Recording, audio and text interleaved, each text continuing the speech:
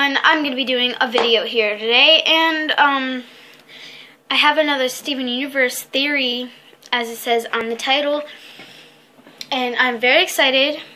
No other, um, I haven't seen any other video about this, and it's gonna, it's going to be the Bis bismuth theory, or if it is bismuth, you know, the gem that's bubbled in Lion's um, dimension main thing. And I was, because one of the episodes, Peridot says we all live to serve the diamonds or we're all maters, something like along that lines. And um, I was just thinking, like, what if the di like, how were the diamonds made? I mean, like, were they just did they just like I don't know. I was like maybe they were made by something. And I was like who?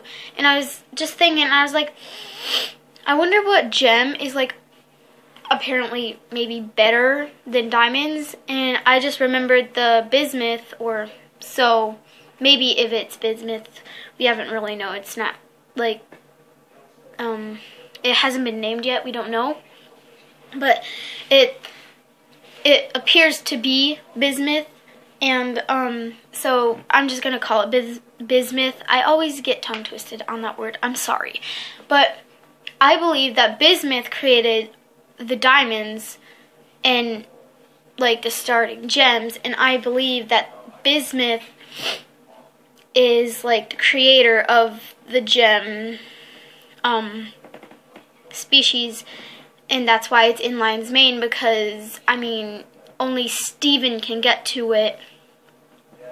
Well, Rose could, but, you know, obviously Rose is dead, so now only Steven can get to it unless he lets another gem in, which I don't think he will, like if it's a gem that he doesn't know of.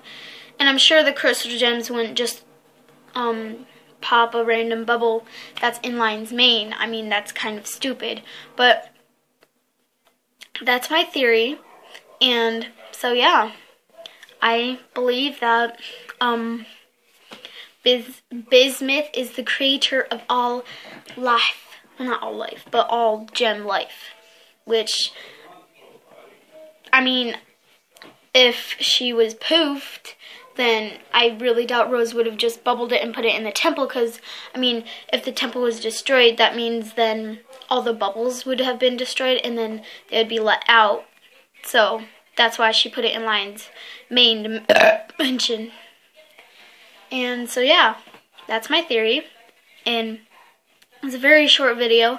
I kind of was like, oh yeah, I gotta get this theory down and to go because I don't want anyone else thinking of this and then posting it before I do and then they get the credit because I mean no one else has done this video as far as I know of. So I'm the first and so yeah. So I'm really excited because I made two theories on my own with no help or will not help. Well yeah I made them by myself or I thought of them by myself, and um, I believe that they're true. I believe, well, yeah, I'm pretty sure. I mean, my last theory in my first video, um, I thought of that myself. There's no other YouTuber who, who's done it. As far as I know now, I haven't really searched it. Um, and this one, no one has made a video about this. And I mean, it's like oh, like the only video that has gotten like close, like talking about bismuth, is basically like why has this bis bismuth been put in Lion's Mane? Like maybe this is a really strong gem that is corrupted or you know whatever. And yeah, so I I'm kind of like bragging about it, which I don't want to seem like I'm bragging. I'm just saying that I'm the first one to do this so, yeah, I'm just really excited because, you know, when you think of something that no one else has, you feel like you know, it's just something like you're like, oh my god, I thought of this. Like, what if this is true? Like, I'm the only one who's done this. So you're really excited and all that. Um, so anyway, I guess I'll go. So bye.